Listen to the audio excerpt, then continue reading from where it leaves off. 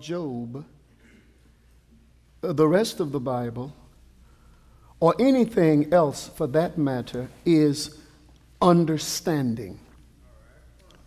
If we do not understand what is going on around us, what we're told, what we hear, what we read, then it's all gone out of the window. The wise man said, Wisdom is the principal thing, therefore get wisdom. With all thy getting, get understanding. Understanding is important. A man came to his pastor and said, Pastor, pray for my hearing. The pastor stuck both fingers in his ears and prayed healing, deliverance, and blessing. I said, Lord, open his hearing. Let him hear perfectly. In Jesus' name, amen. A few minutes later, he said, Son, how's your hearing? He said, I don't know. It's next Tuesday at 8:30.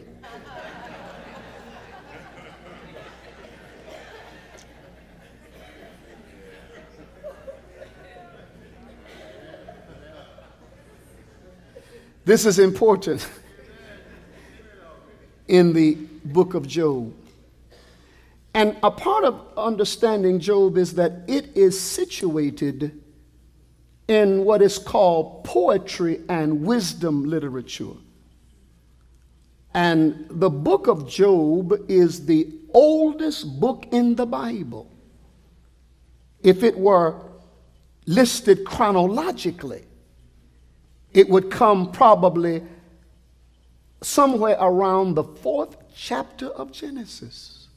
It's that early in biblical history.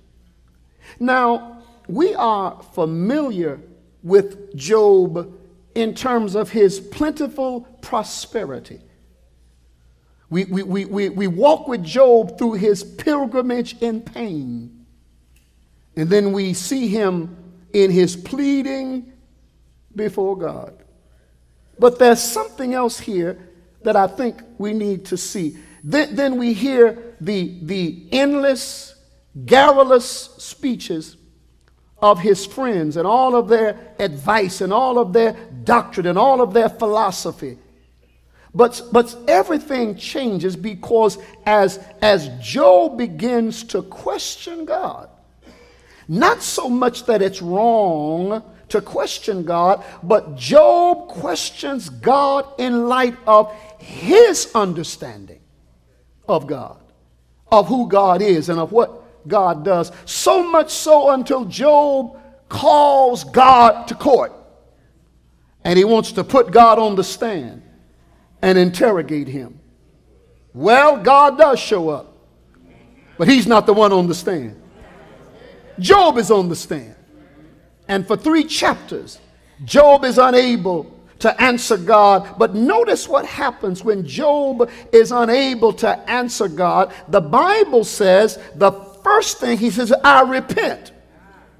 I was wrong. I, I, I, I looked at you the wrong way. And, and, and then after, after repentance, he said, I have heard of thee by the hearing of the ear, but now my eye sees you. Look at it. I uttered things I didn't understand. I dealt with things too wonderful for me. Job's confession is I did not understand.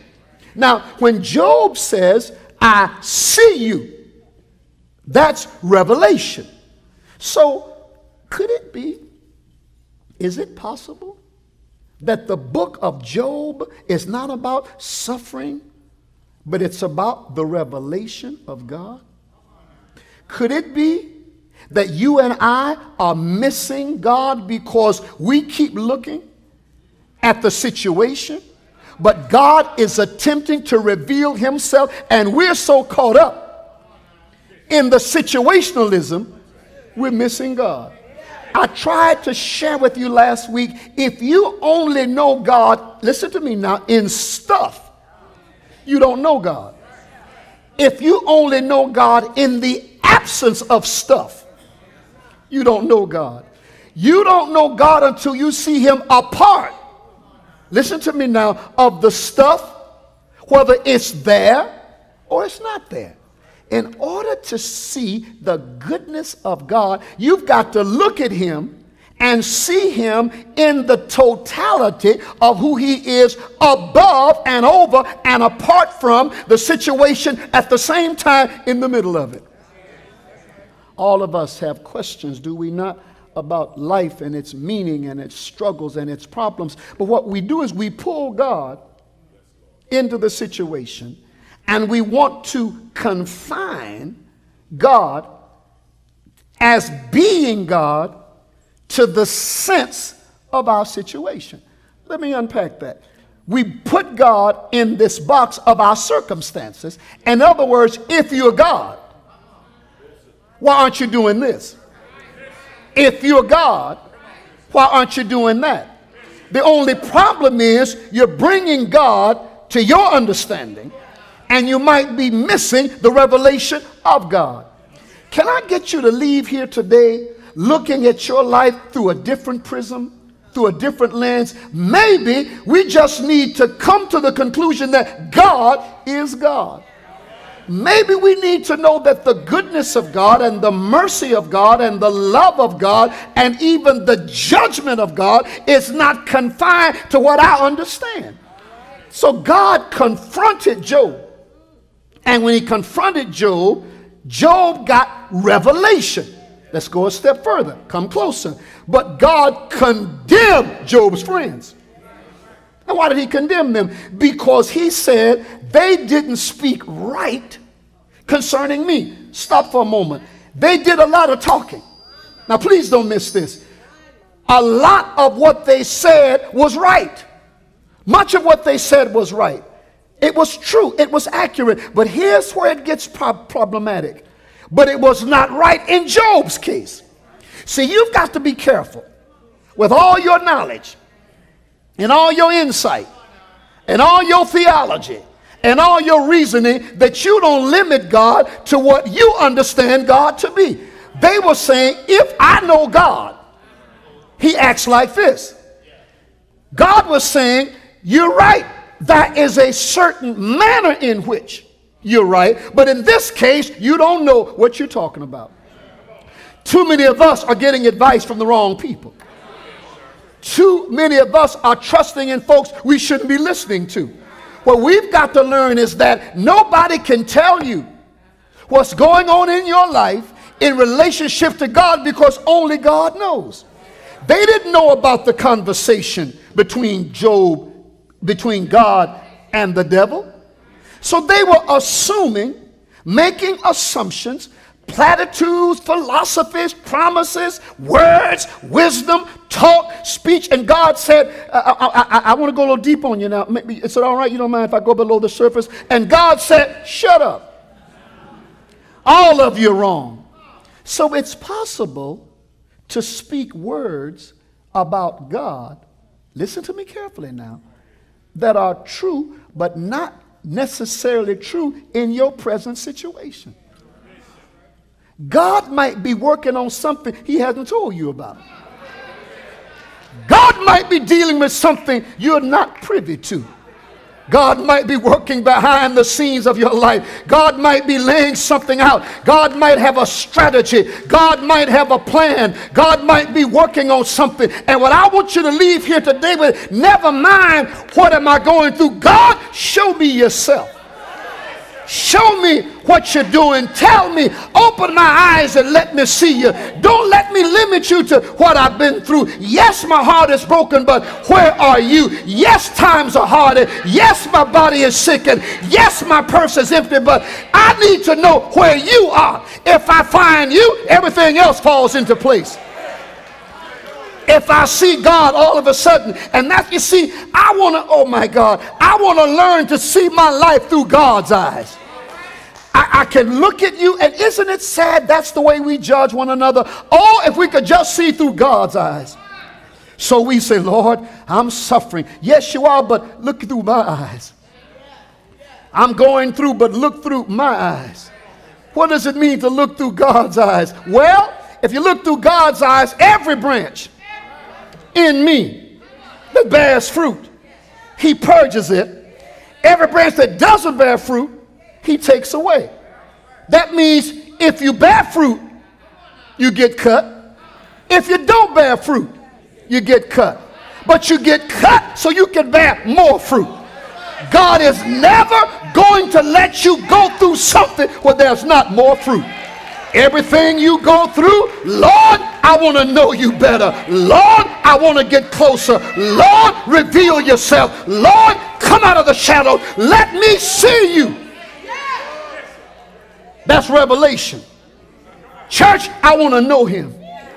My desire now, see, because sometimes when I look over my life and maybe your life, the pieces don't fit, the dots don't connect. Why did you lead me that way? And why that way? And why am I here and not there? Why this situation? Guys, if you step back and let me see God. Now, here's where it gets interesting. There was God confronted Job, he condemned his friends. But here's where it gets even more interesting. But then God had something for Job. Mm-hmm. Through all of this. Don't you love the end of the story? God said, Now pray for those friends of yours. But after Job repented, prayed for his friends, now watch this. All of a sudden, the questions of the purposes and the providence of God were no longer important to God, just the person of God. Here's where we can get in trouble. You can study theology, you can study the Bible, you can know the Bible, but you got to know the person. So, so, you don't believe me, but I'm almost finished. That's all I came to tell you. After Job lost everything. After Job's friends talked about him unfairly. After God revealed himself. After Job repented. After Job's eyes are open. The Bible says, God said, now that you see me, I'm going to give you back everything you lost. Not only everything love, but double. Somebody shout double. If you see God for who he is, there's a double blessing for you. If you see God for who he is, there's more than you can imagine. Now wait a minute, wait a minute. I'll say something about that for a moment. But what about children? Why not? Why not 14 children? We had seven. Why not 14? Why not? Well, I'll tell you why. Because they died but he never lost them. That got by you. Shame on you. See, I tell you what, some things I can lose here and I can't get over there. But something, if I lose them here, so those seven children were dead over here, but alive over there. I came to tell you, Life Center, you're going to get double for your trouble when you get God's revelation, He's going to open your eyes. He's going to clear the fog away. He's going to take away the cataracts of fear. He's going to take away the miasma of doubt. He's going to take away the, the concern and let you see. And when you see Him, your soul is going to exalt. When you see Him, you're going to walk a new walk and talk a new talk and live a new life. And when you see Him, and I'll close when I tell you this. When you see him, watch this. You have something that you cannot lose. You can lose stuff, but you can't lose him. Let me give you an example. I hope you won't mind. I've had to deal, as you have, with some people who descended into the darkness of Alzheimer's. And I remember a case where I visited someone and uh, the mind had been vacated as far as doctors know. But I remember like it was yesterday, my pastor's uh, mother in law, much in age, and I Another case I remember I was visiting a friend and I began to quote the scripture. And she locked her eyes in mine, and I could tell that was a Holy Ghost connection. Mother Foster was my pastor's mother in law. And I went to see her, and her words were not coherent. They, they, they, they didn't make sense. And I tried to speak to her, she didn't get it. But the Lord said, just sit there and watch. And the Lord said, don't try to talk to her. And, and she sat there, and everything was gone. But after about five minutes, she looked up toward heaven and said, Oh, bless his name. I might forget my wife and children. One day I might look at life sounds and don't know who you are. One day I might forget that I pastor the life technically, but down in my heart, something on the inside. If I know him, nothing can rob it. And that's the only thing in life you can handle. You can lose stuff. You can lose friends, possessions, memory, but you cannot lose the revelation of God. And God could entrust Job with twice of what he had. When Job's eyes, church, my prayer for me and for you is that we would have the revelation of God. Open my eyes, Lord. I want to see Jesus, to love him, to trust him. To open my eyes. It's not about stuff, whether I have it or don't have it. It's not about where I am or where I want to be. I want my eyes open that I might.